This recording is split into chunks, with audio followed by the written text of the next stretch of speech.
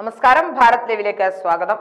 കോൺഗ്രസ് നേതാവും അയോഗ്യനാക്കപ്പെട്ട എം പിയുമായ രാഹുൽ ഗാന്ധി ഇന്ന് അദ്ദേഹത്തിന്റെ മണ്ഡലമായിരുന്ന വയനാട്ടിലേക്ക് എത്തുന്നു.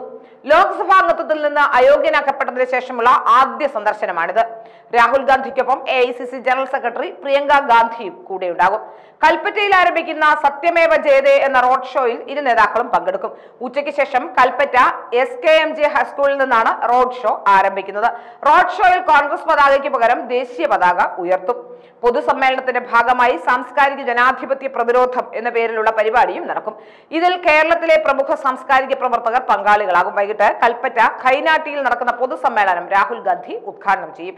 A general secretary K C Venugopal A general secretary Tariq Anwar K president K Sudhakaran പ്രതിപക്ഷ നേതാവ് വി ഡി സതീശൻ മുസ്ലിം ലീഗ് സംസ്ഥാന president Panakkad Sadiq Ali Shihab Thangal P K Kunhalikutty P M S Salam എന്നിവർ പങ്കെടുക്കും. പൊതുസമ്മേളന ശേഷം ഹെലികോപ്റ്റർ മാർഗം രാഹുൽ ഗാന്ധി കണ്ണൂരിലേക്കും തുടർന്ന് വിമാനത്തിൽ ഡൽഹിയിലേക്കും മടങ്ങും.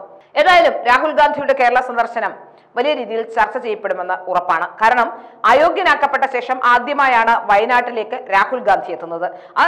അയോഗ്യനാക്കപ്പെട്ട ശേഷം കേരളത്തിൽ എത്തിയാൽ മാത്രമേ എന്തെങ്കിലും ഒരു നീക്കം നടത്താൻ അല്ലെങ്കിൽ എന്തെങ്കിലും ഒരു രാഷ്ട്രീയപരമായ ഒരു ഉണർവ് ഉണ്ടാക്കാൻ കോൺഗ്രസിന് കഴിയൂ. മറ്റെവിടെയും മറ്റ് ഏത് സംസ്ഥാനത്ത് പോയാലും അത് സാധ്യമല്ല. അതുകൊണ്ട് തന്നെയാണ് കേരളത്തിൽ വയനാട്ടിലേക്ക് വരുന്നത്. വയനാട്ടിലേക്ക് എത്തുമ്പോൾ നമുക്കറിയാം നേരത്തെ സി പി എം ഈ കോൺഗ്രസിനെ പിന്തുടർന്ന് അല്ലെങ്കിൽ കോൺഗ്രസിനെ പിന്തുണച്ചുകൊണ്ട് രംഗത്തുണ്ടായിരുന്നു. എന്നാൽ തങ്ങൾക്ക് അത് വിനയാകും എന്ന് കണ്ടതോടുകൂടി സി പി എം അല്പം ബാക്കപ്പ് ചെയ്ത് മാറി നിൽക്കുകയാണ് ഇപ്പോൾ.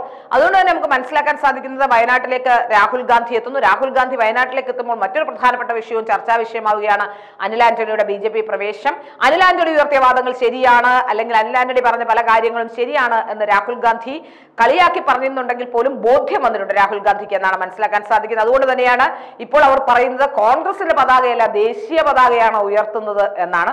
ദേശീയ പതാക അങ്ങനെ ഉയർത്താൻ പറ്റുമോ എന്നുള്ള കാര്യം വ്യക്തമല്ല. എങ്കിൽ പോലും ദേശീയ പതാക അവിടെ ഉയർത്തുമെന്ന് പറയുമ്പോൾ ദേശീയവാദിയായ അനിലിന്റെ ആ ഒരു പ്രയത്നം അല്ലെങ്കിൽ ദേശീയവാദിയായ അനിലിന്റെ ആ തുറന്നു പറച്ചിലുകൾ ഒരർത്ഥത്തിൽ കോൺഗ്രസിനെ പ്രതിരോധത്തിലാക്കിയിരിക്കുന്നു തന്നെയാണ് മനസ്സിലാക്കാൻ സാധിക്കുന്നത്.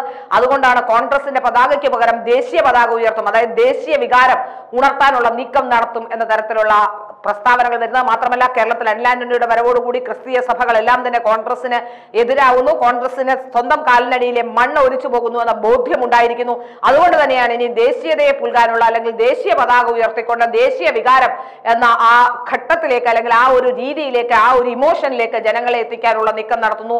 പകരം കോൺഗ്രസിനെ കോൺഗ്രസിന്റെ പതാക ഉയർത്തുന്നില്ല എന്ന് കൂടി പറഞ്ഞു വെക്കുമ്പോൾ തീർച്ചയായും മനസ്സിലാകുന്നത്.